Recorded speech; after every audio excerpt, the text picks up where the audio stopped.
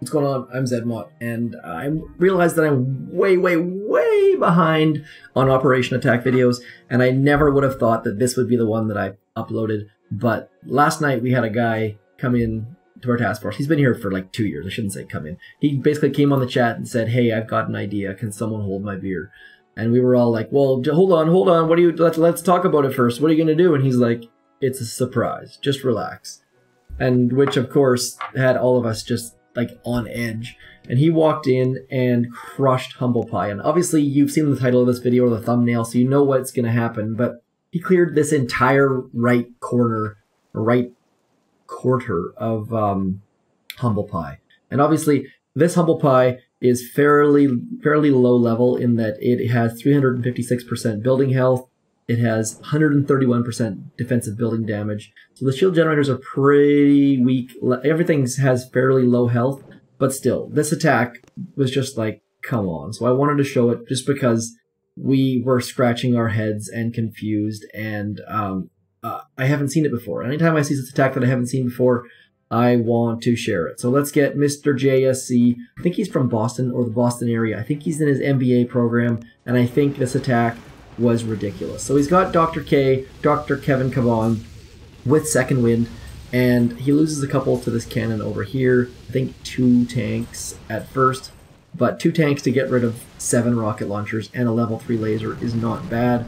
Bart's out the boom cannons, and then just mowing through absolutely everything. And one of the bonuses of this attack that is that he actually clears like every single mine on this entire quarter which worked out.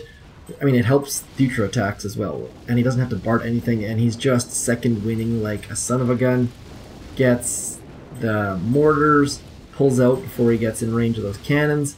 I mean, I'm sure this could have done been done better. I don't think that anyone in our task force uses tanks on a regular basis, but um, just the fact that it's tribal tanks, and then as soon as he gets into this, these shock blasters just absolutely tear him a new one. But look how much he's cleared.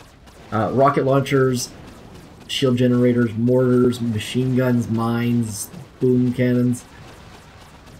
Pretty darn good. And like these back shield generators are fairly well guarded with the with the eight rocket launchers, boom cannons, and shield shock launchers. Run, instead of running out of time, of course, with tank medic, that's the case. These back ones also the extra bonus laser in there. So enemy shield generators in a 50 person task force is not something we do terribly often just because it's not required. So the fact that he cleared this entire right front quarter, we can finish this in, right now we've had one attack on it.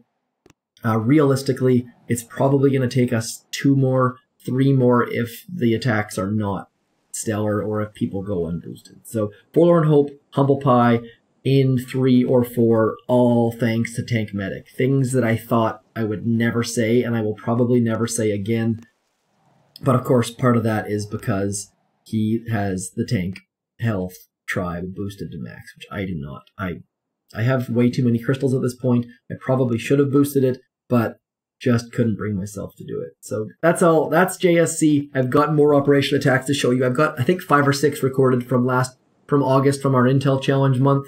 I uh, will be uploading them soon. Thanks for your patience and thanks for coming in. Peace.